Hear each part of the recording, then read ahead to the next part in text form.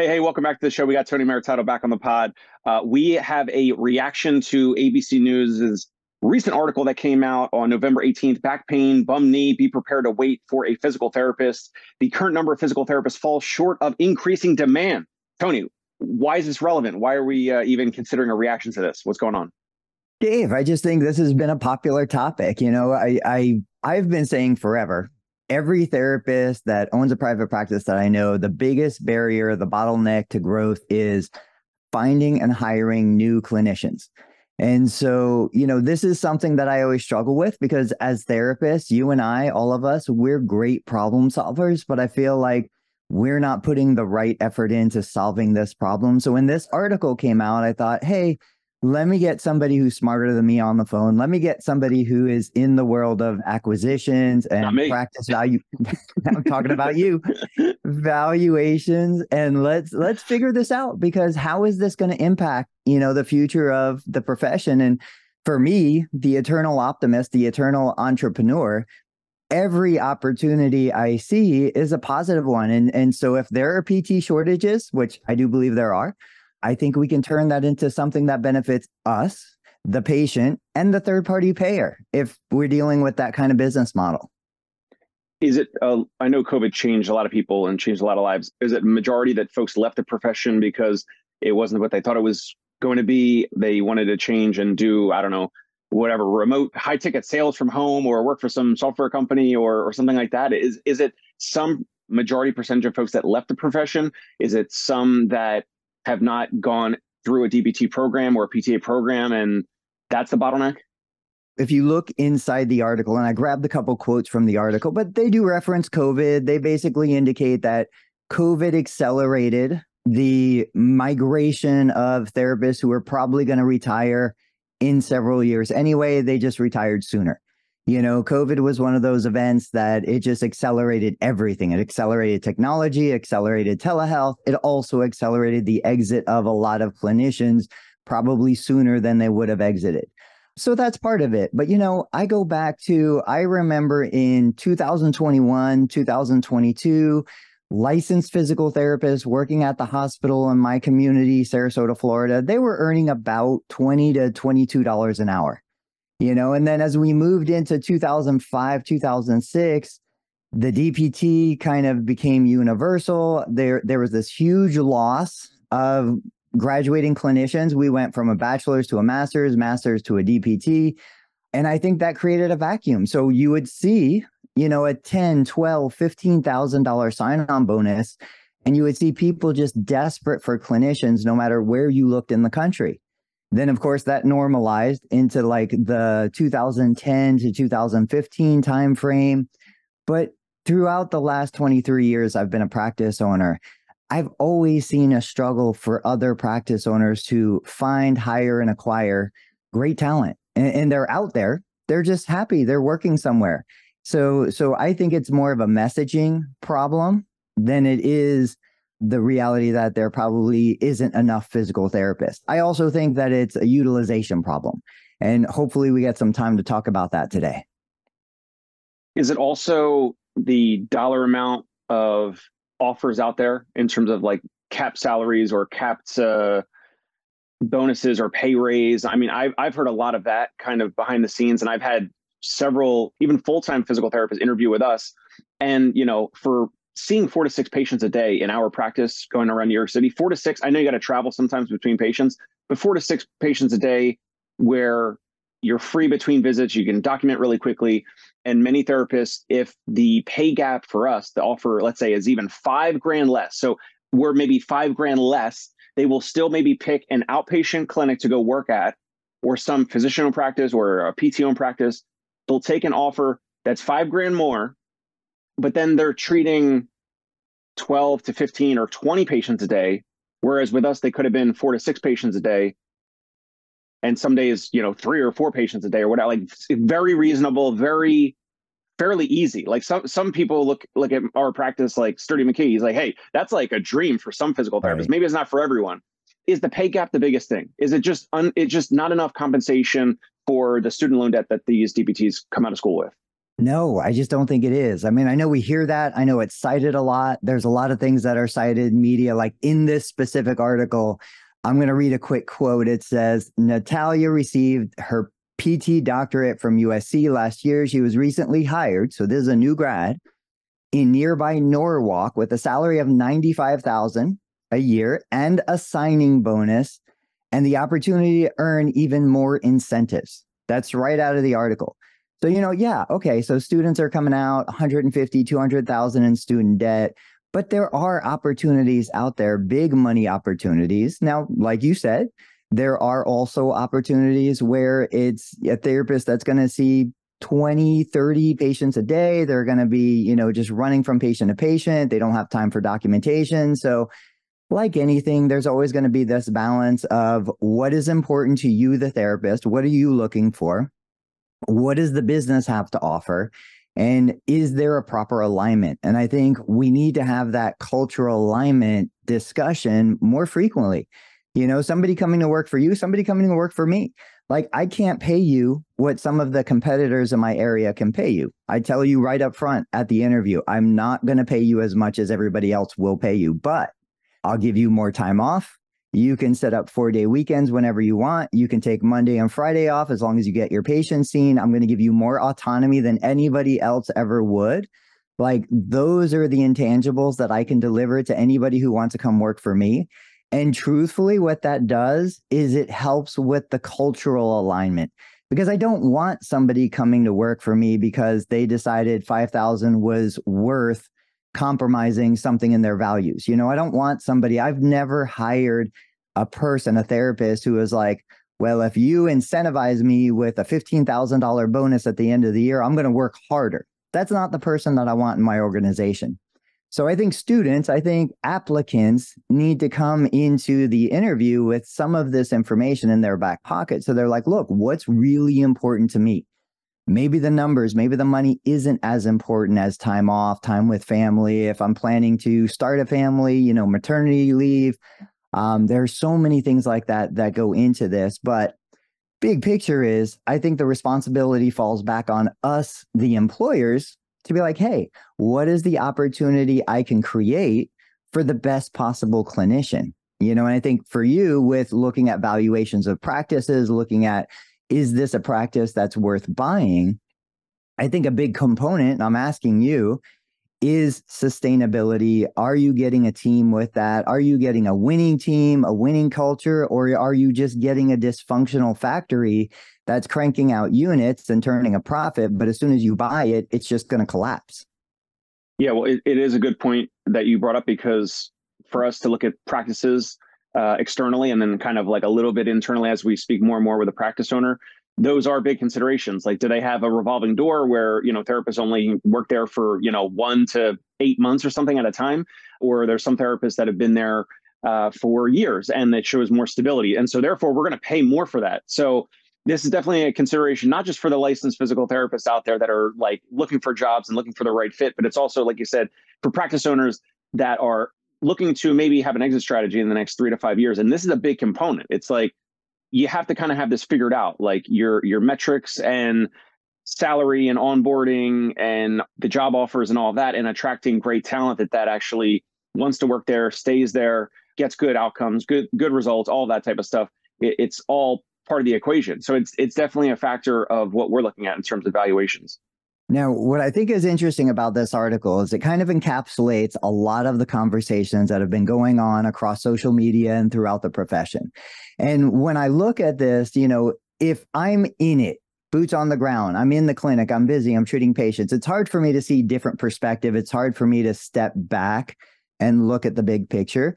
But let's hit a couple of these common kind of complaints that I see coming out of this conversation. And I think we need to look from a different perspective. So, number one, we see Medicare cuts, right? So, declining reimbursement. Medicare is pitching a 3.4% reduction in payment for 2024.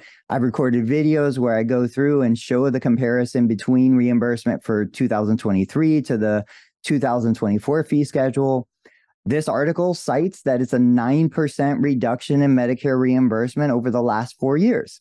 So we're like, okay, business owners are getting paid less. They're under pressure. They can't afford it. On the flip side of that, you've got students who have higher uh, student debt. So they're coming out owing more money. And then you throw on top of that inflation, right? And so inflation, food costs more, gas costs more, all of these elements cost more. All right.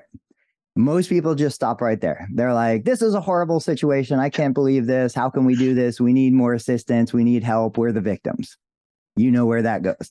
But then I have to step back and I have to look at this. And I've shared this perspective a bunch. I'm like, okay, I see that. But on the flip side, me as the business owner, I'm paying a fraction of what I used to pay for stuff like marketing. You know, just a couple years ago, I would pay $10,000 to get content written for my website that I can get now for 20 bucks a month. I used to pay unreasonable amounts of money to run an ad in a newspaper, which I can do targeted ads with Facebook and Google for fractions of a penny. I mean, I, there are so many big picture, like tens of thousands of dollars of savings that nobody ever talks about. They talk about inflation. They talk about a Chick fil A sandwich costing a dollar more, gas being a dollar fifty a gallon more. But nobody talks about the fact that I probably saved $50,000 on a marketing budget today compared to where I was in 2001, 2002. You know, so what are you thinking? Like, is anybody talking about the reality that technology has compressed the cost of operation so much that we should still be able to run profitable clinics? I, I, agree. I do not think we're in the Middle Ages. I think physical therapy is in a renaissance. I think with your content being put out there, mine, Jerry Durham, Paul Singh with Strata Studios, Robbie and Joey with Rehab CEOs, uh, the list goes on and on and on with different YouTube content and different, uh, even Instagram and physical therapists putting, I don't know, workouts and treatments and all this stuff out there. I think we are part of that whole wave where we're getting in front of more and more consumers who are like maybe questioning orthopods, maybe questioning doctors, maybe taking more of their health and wellness into their own hands. They're being a little bit more um, centric about their their health and wellness, and they're going to be seeking more and more physical therapists out so that goes back i agree. So that goes back to cheaper marketing costs for a lot of physical therapists out there that are putting themselves out there whether it's organic content youtube videos paid ads whatever it might be however we're all getting in front of these these healthcare consumers. So that's a massive um, reduction in terms of potential marketing costs that we would have had to pay more for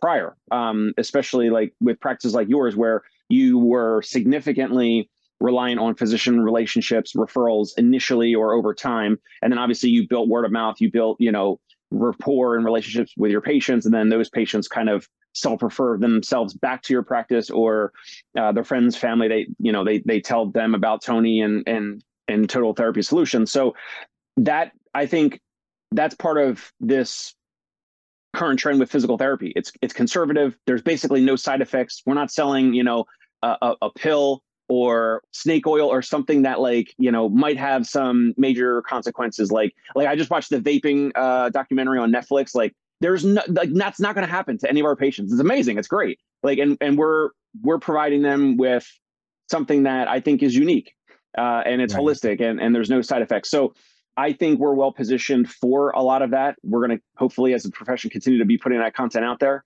And it definitely can over time reduce your marketing spend because there's more and more people even we go to sleep we're on the we're on this video there's more and more people consuming content whether it's that abc article uh, or if it's something on instagram or tiktok or youtube or whatever more and more healthcare consumers are getting smarter about ways that they can do things or find services and physical therapy is in that. So it, it's definitely going to be something that reduces customer acquisition costs. It's kind of like general awareness across the country. Obviously more markets might benefit more than others but it's definitely part of the conversation. So, you know, I remember again, early 2000s, you couldn't do anything without a brick and mortar clinic, right? And you had rent, you had overhead, you had equipment you had to buy, you had to pay for internet, you had to pay for phone, all this stuff. Now, all of a sudden, the move was all of a sudden I could work out of my car. Now I can work out of my computer. We still have Medicare covering telehealth services through the end of 2024. So even that brings the cost of care down.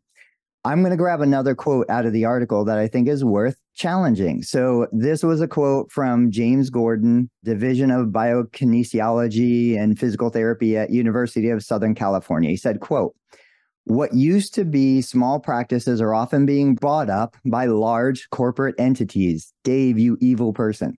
and those corporate those corporate entities are pushing productivity and become which becomes less satisfying in the workforce. So we see this a lot. I see this complaint constantly. It's like, oh, greedy corporates, they want nothing but profit. Look, guys, we, we can all admit, even the most left wing liberal of us can admit the business needs to be profitable. An element in this that, again, never gets discussed is yeah, but with that, you bring economies of scale, first of all. So when I was operating five clinics across two states, it was way less expensive for me to deliver the service compared to when I had one clinic in one location. Because if somebody was out sick, I had redundancies in the system out sick. I had redundancies in the system. It was cheaper for me to submit claims. It was cheaper for me to admit patients and do administrative work just because I could share the cost across five clinics, five locations. You know, if I have one clinic, I probably need a hundred thousand in profit from that clinic. But if I have 10 clinics doing a hundred thousand or doing 10,000 a piece, obviously I can make the same profit. Just scale brings economy. And that's what we get with these roll ups. That's what we get with these acquisitions. So I understand the therapist frustration, but I think it opens up new opportunities for us. And my thing goes back to what are we, let's turn the mirror around on ourselves. What are we doing to bring down the cost of physical therapy services, physical therapy care? Every time I ask this question, I get global answers. It's like, oh, well, physical therapy, if you can avoid a total knee replacement, then we're saving, you know, tens of thousands of dollars to the system.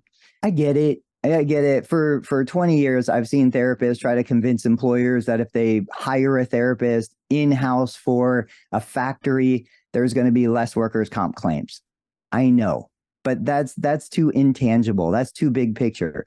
I want to know concrete. So like when we look at hip replacements, right? 20 years ago, hip replacement, they get it done, they refer to therapy, 24 visits, almost guaranteed. Then it went to 12. Then it went to none. Like I haven't seen a patient after a hip replacement in my clinic for like three years. It just doesn't happen anymore because the procedure has gotten so good, the outcomes are so good. They don't need what we used to do as therapy.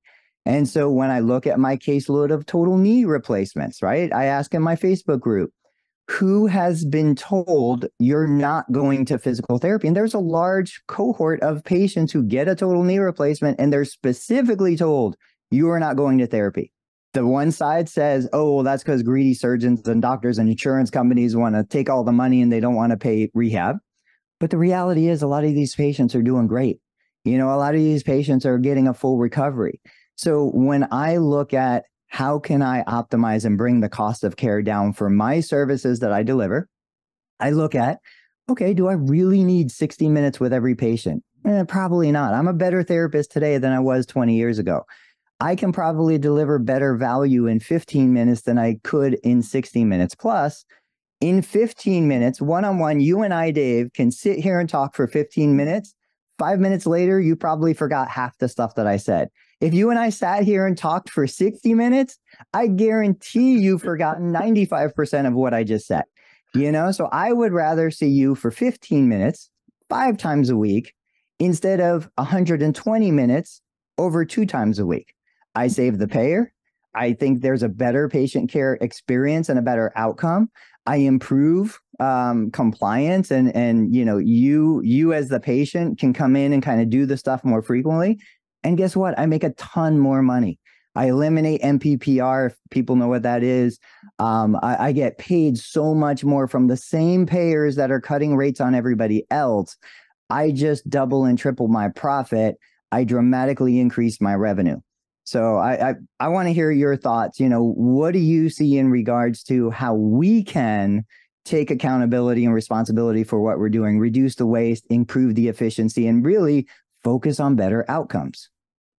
Well, I commented on a, a recent video of yours, uh, and I said, and I was so I was disagreeing uh, on this. Like I said on your, I commented, I said when I go into Whole Foods, if I go into the Apple Store, if I'm shopping for car insurance, whatever, it doesn't feel like any of these other companies are looking out for me and saving me money. or looking out for you know low how can they lower their cost of goods? Now of course there's places like costco and all that that have like a different business model and arguably you could say maybe they do um, maybe and maybe we could learn from that i don't know. Maybe there needs to be a physical therapy membership and then you know you charge everyone like a one unit you know visit through their insurance i don't know maybe that's a thing.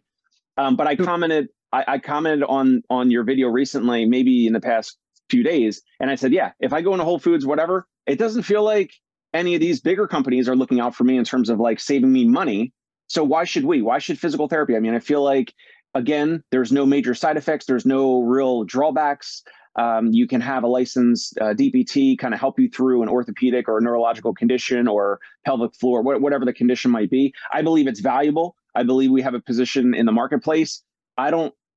I think it's. Uh, and I also commented on that same comment. Maybe it's me being immature or naive, but I don't understand why you are suggesting we try to save healthcare consumers or save patients money when what we have we're trying to say hey it's valuable and here's the market here's the here's the results and here's who we can help and and all that so it's like we want to attract all these patients but at the same time it's like maybe maybe we're trying to you want to save the money and only do like one unit visits or whatever i don't know if i fully understand it i don't know if i can grasp it and if i can't then maybe i'm immature or naive no, not at all. Like that's the best part of you and I having these talks is that we have differing opinions. We don't agree on one-on-one care. We don't agree on in-person care. There's a lot of things we don't agree on, but what I think is interesting is it highlights the fact that even two physical therapists can say i'm a physical therapist and it can be worlds apart of what they actually do in a day.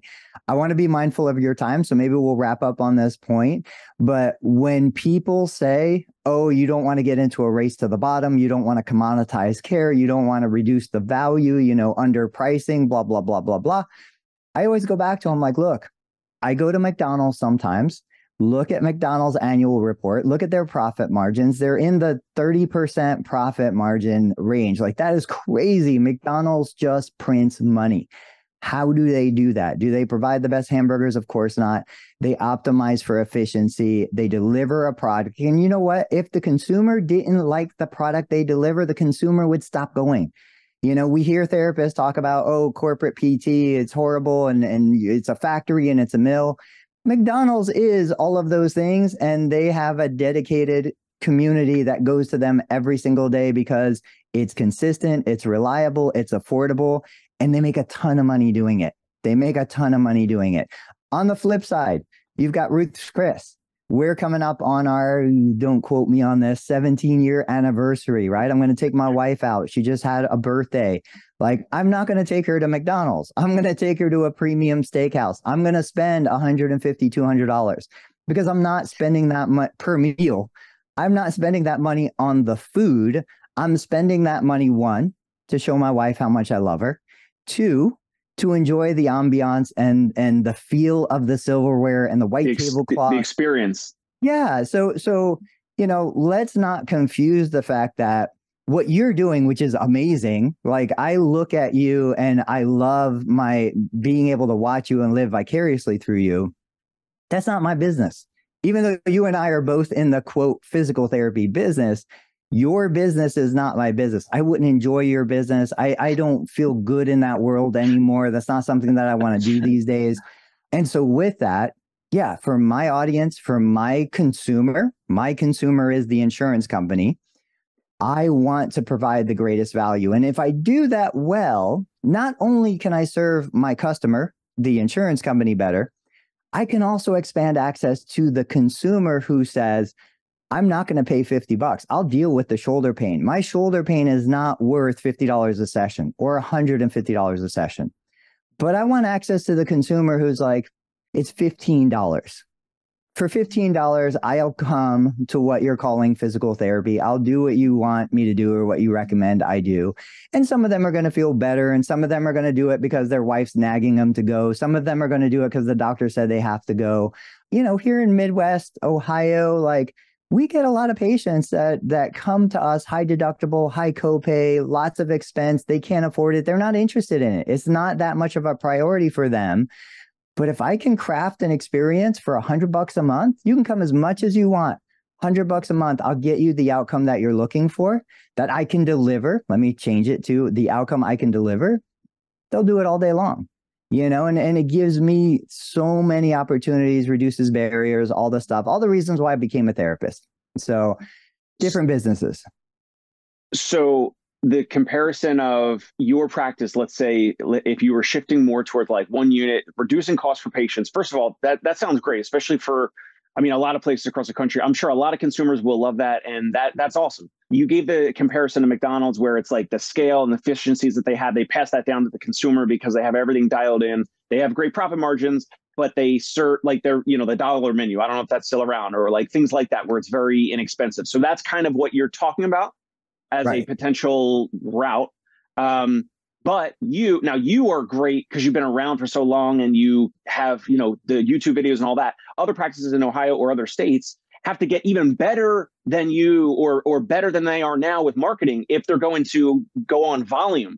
For us we're more boutique right? So we're charging a lot more per visit and our volume is less. And so yeah you and i are different. Like you're in wherever you're at right now even if it's two three four units per visit on average that what you guys are doing you are you're at a higher volume per day and per week than than what we are, and we're charging more per visit. So of course we're going to be lower volume.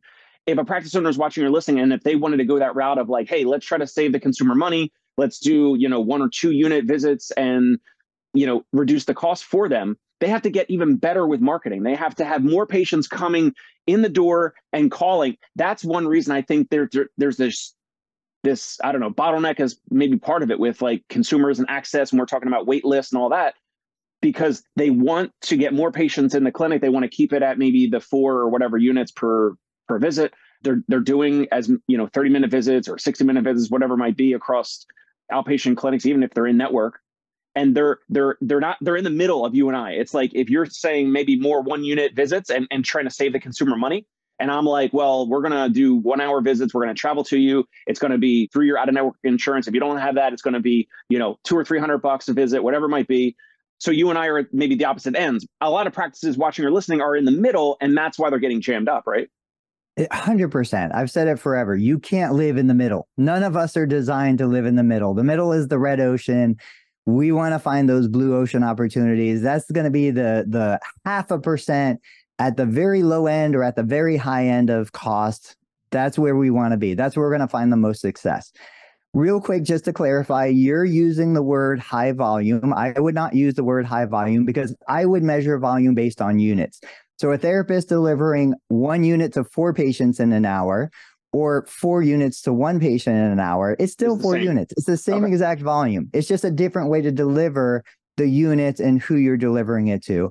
And then the last part of it is you're right. Like, let's finish this episode on you are 100% right. Every problem in the clinic almost comes down to better marketing.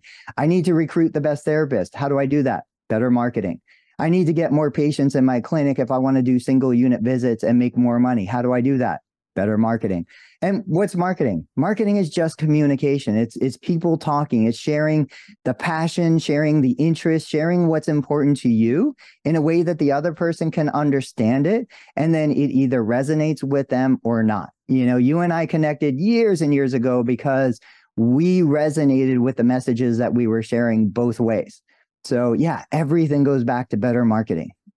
Right. And shout out to Rob Vining. I don't know. I have no idea if he's watching or listening to this. Rob, wherever you are in the world, we miss you, man. Uh, we haven't talked to you in a while. And the reason why Tony and I are on this video right now is partly because of Rob Vining, because he got me on video and, and podcast and all that. So shout out, Rob. I agree. He was a great guy. I appreciate him. Hopefully he's doing well. Awesome. Well, subscribe to the Dave Kittle Show on YouTube. Also, jump over to Learn Medicare Billing, learnmedicarebilling.com, as well as Learn Medicare Billing on YouTube. Tony's got a plethora of videos to help you navigate Medicare and billing and a whole bunch of other creative marketing ideas and much, much more. Go check them out. Uh, Tony, thanks for your time. It was awesome. Dave, thanks for having me. Thank you. Hey, it's Dave Kittle. Are you a healthcare business owner or physical therapy practice owner who is looking to figure out your succession plan or exit strategy? We might be able to help. And in fact, we may be interested in acquiring your practice. If you're interested, you can reach out to me.